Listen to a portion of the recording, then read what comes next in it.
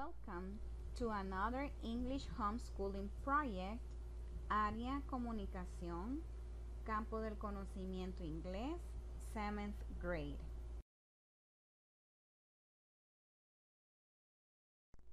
There are actions that stop spreading coronavirus. And the first one that you have to do is wash your hands. Also, wear your face mask to cover your nose and your mouth. And more importantly is to stay home. Today's lesson is about the past continuous and the affirmative sentences. Esta es la continuación del tema que estuvimos estudiando la semana pasada del tiempo presente continuo, pero ahora lo vamos a analizar en el tiempo pasado. The past continuous. We use the past continuous to describe an ongoing action that happened in the moment of the past. El tiempo pasado continuo lo vamos a utilizar para describir una acción que estuvo sucediendo en el momento exacto del tiempo pasado. And if you notice in here, we find the three different tenses. Tenemos los tres tiempos gramaticales del presente, pasado y futuro. But today, we are going to focus more on the past tense, which expresses expressions like yesterday, ayer, last night, anoche, last week, la semana pasada, last month, el mes pasado, last vacation, las vacaciones pasadas, last year, el año pasado, three days ago, hace tres días, two days ago, and also when we want to talk about the season, the summer ago. During this distance learning, it is also time for us to increase our vocabulary. And I invite you to observe very well because there is something happening in the writing. The action is telling us walking, walking, walking, walking, caminando. The action says running, running, running, running, corriendo. Sleeping, sleeping, sleeping, sleeping, durmiendo. Talking, talking, talking, talking, hablando. Flying, flying, flying, flying, volando. Studying, studying, studying, studying, estudiando. Cleaning, cleaning, cleaning, cleaning, limpiando. Fixing, fixing, fixing, fixing, reparando. Washing, washing, washing, washing, lavando. Swimming, swimming, swimming, swimming, nadando. Okay, and the big question is what did you notice in the vocabulary words? ¿Qué notaron ustedes que tenía la escritura del vocabulario? ing. Very good. ing at the end of the action word. Cada uno del vocabulario que estuvimos practicando finaliza con el ing. Esto forma nuestro tiempo continuo, como en walking, walking, también en running, running, sleeping, sleeping, talking, talking, flying, flying, studying, studying, cleaning, cleaning, fixing, fixing, washing, washing, swimming. swimming. Este tipo de vocabulario que termina con el ing se llama continuo. And in this description about a vacation, we are going to find four sentences that are expressed in the past tense. Vamos a leer esta descripción sobre unas vacaciones y vamos a encontrar cuatro oraciones de ejemplos que están expresados en un tiempo pasado continuo. El tema dice así, What were they doing? ¿Qué estaban ellos haciendo? Last vacation, my family and I visited La Ceiba. During a Sunday's morning, we went to the beach and my brother Paul was building a sand castle. He enjoyed the sand, and at the end, the castle got nice. My father and my mother decided to dive just a little. They were swimming to the reef when they saw colorful corals and a beautiful big blue fish.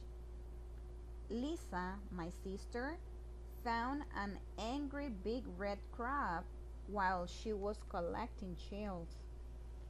I was happy. My vacation was great. I was enjoying every moment. Ahora vamos entonces a tratar de identificar dónde están esas cuatro oraciones. Paul was building a sand castle. Correct. Paul was building a sand castle. The next one, They were swimming to the reef. correct.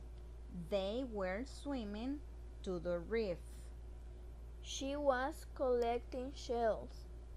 She was collecting shells. Correct. Y la última, the last one, I was enjoying every moment. Correct. Como podemos observar en estas oraciones, algunas oraciones tienen en la formación del verbo to be con el was en el tiempo pasado y también lo tenemos con el were, el cual también indica el tiempo pasado. This is the grammar structure that we are going to analyze and we are going to identify which subject pronouns are written with was and which one are written with were.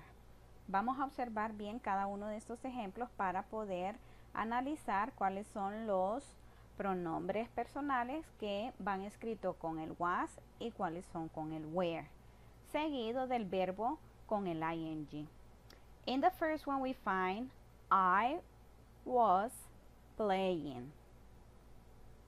You were studying. He was ordering. She was watching TV. It was eating. We were dancing. You were cooking. They were painting. As you can see, there are some subject pronouns that are written with was, which are I was, he was, she was, it was. They are singular pronouns. And the plural pronouns, which are we, you, they, were, are written with the where in the past of the verb to be plus the verb with the ing. In this section, you are going to have some sentences and you are going to circle the correct sentence that is related to the past continuous. In the picture you can see two people talking and the question says, what was happening? ¿Qué estaba sucediendo? Option 1, opción 1. They was talking about the movie. Option number 2. Opción número 2. They were talking about the movie. Which is the correct one? They were talking about the movie. Correct. They were talking about the movie. In this picture, you can see a lady washing the dishes. And the question says, What was happening? ¿Qué estaba sucediendo? Option 1. She was washing the dishes. Option 2. She were washing the dishes. Which is the correct one? She was washing the dishes. Correct. She was washing the dishes. Let's continue. In this picture, you can see two men running. What was happening? Option number one, we were running in a competition. Option number two, we was running in a competition. Which is the correct option? We were running in a competition. Correct. We were running in a competition. The picture shows us that a lady is cleaning. What was happening? ¿Qué estaba sucediendo? Option 1. I was cleaning my bedroom.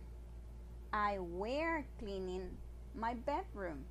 Which is the correct answer? I was cleaning my bedroom. Correct. I was cleaning my bedroom. In the picture you can see two men swimming. What was happening? Option 1. You was swimming in the pool. Option number 2. You were swimming in the pool. Which is the correct answer? You were swimming in the pool. Correct. You were swimming in the pool. Okay, let's remember what was the topic today.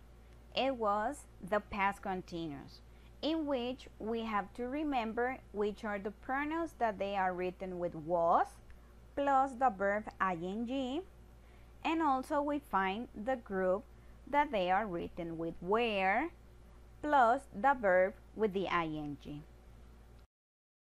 Remember, stay home and you will stop the spreading of coronavirus. Bye bye. See you next class.